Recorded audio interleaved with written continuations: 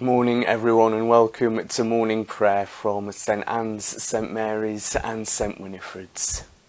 I thought we were going to have a summer day today by the sunshine this morning. It's clouded over a bit now. Hopefully, we'll get a warm day today.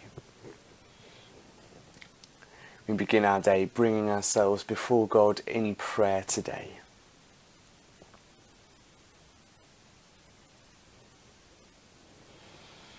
O Lord, open our lips, and our mouth shall proclaim your praise.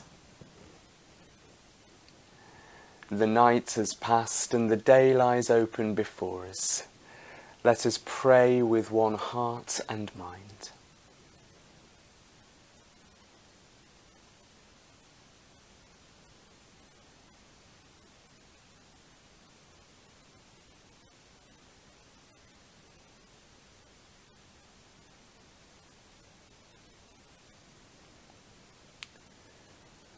As we rejoice in the gift of this new day. So may the light of your presence, O God, set our hearts on fire with love for you, now and forever. Amen.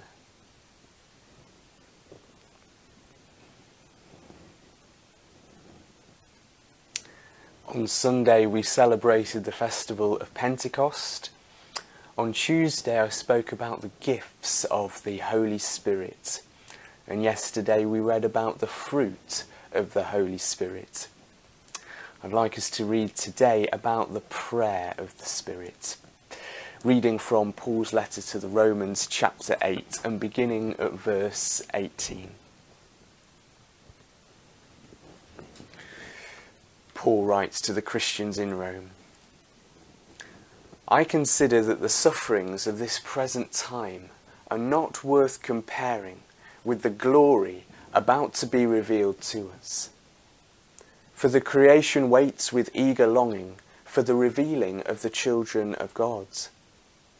For the creation was subjected to futility, not of its own will, but by the will of the one who subjected it, in hope that the creation itself will be set free from its bondage to decay and will obtain the freedom of the glory of the children of God. We know that the whole creation has been groaning in labour pains until now, and not only the creation, but we ourselves, who have the first fruits of the Spirit, groan inwardly while we wait for adoption, the redemption of our bodies. For in hope, we were saved. Now, hope that is seen is not hope, for who hopes for what is seen? But if we hope for what we do not see, we wait for it with patience. Likewise, the Spirit helps us in our weakness. For we do not know how to pray as we ought, but that very Spirit intercedes with sighs too deep for words. And God, who searches the heart, knows what is the mind of the Spirit, because the Spirit intercedes for the saints according to the will of God.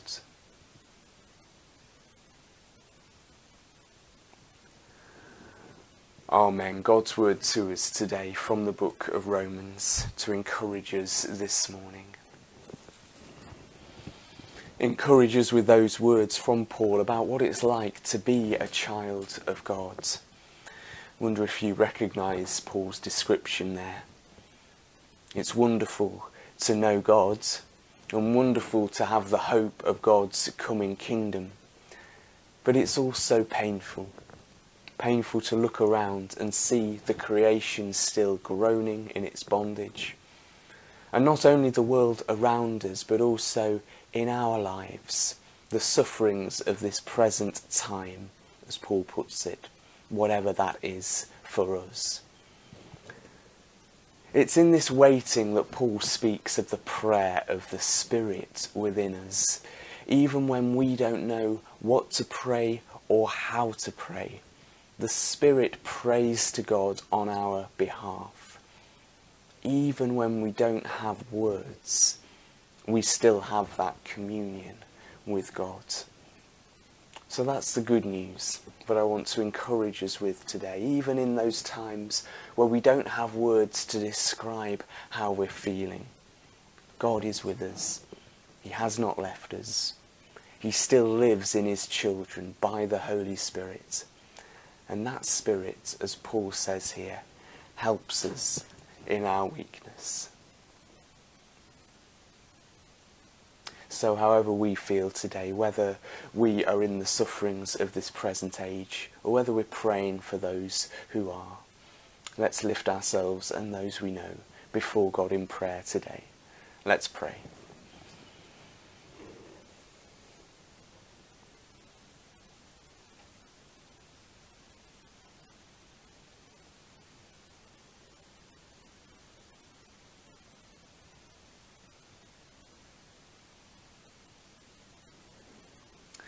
Father God, we thank you for this news today. That even when we don't know how to pray or what to pray, you have not left us. If we are your children, your Spirit lives in us. And your Spirit prays on our behalf. Lord God, we pray for ourselves and those we know who are in a time of difficulty at the moment, that they will know the peace and presence of your Holy Spirit supporting them today. We lift up before you, Lord, any we know and those we don't know who are ill at this time, who are grieving the loss of a loved one, whose situation is insecure or who are working flat out for our nation. We continue to lift before you, Lord, the healthcare workers, those involved in the vaccination programme, those who make decisions on our behalf. And we pray, Lord, for your Holy Spirit to be with them, to give them clear thinking, clear wisdom, to know what to do for us.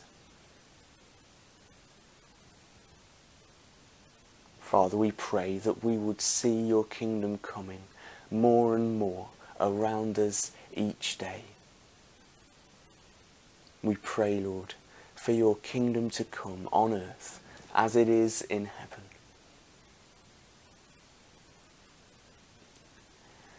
In the name of Jesus and by the power of the Spirit, we pray to you, Father. Amen.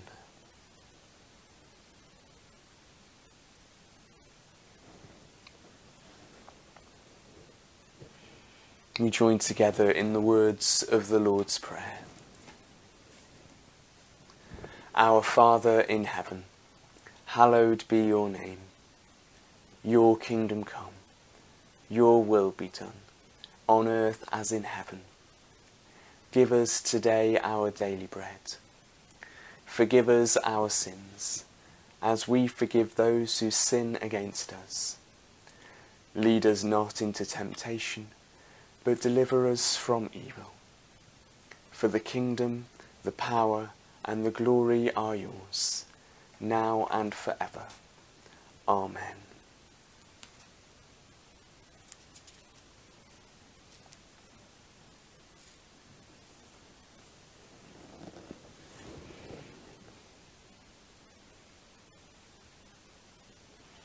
Thank you to you all for joining us for morning prayer today. If you are new with us here on Facebook, then we have a morning prayer every morning at 9 o'clock, Monday to Friday, or live on the St Anne's Facebook page, and we try and upload that really soon after to the St Mary's Norton Cuckney Facebook page, and then upload to YouTube later in the day. We also have our open church time on a Friday morning from 8.45 until 10 o'clock, including the live streaming of morning prayer at 9 o'clock. So if you'd like to come into the church to join us to pray, then feel free to do that. Then our Sunday worship at St Anne's and St Mary's is at 9.30 on Sunday mornings. you can join us in person or online for those services. And then, indeed, at four o'clock in the afternoon at St Anne's, we have our Children's Church Ignite in the hall and our cafe style church, St Anne's at four in church. Do join us if ever you can. You'll be very welcome.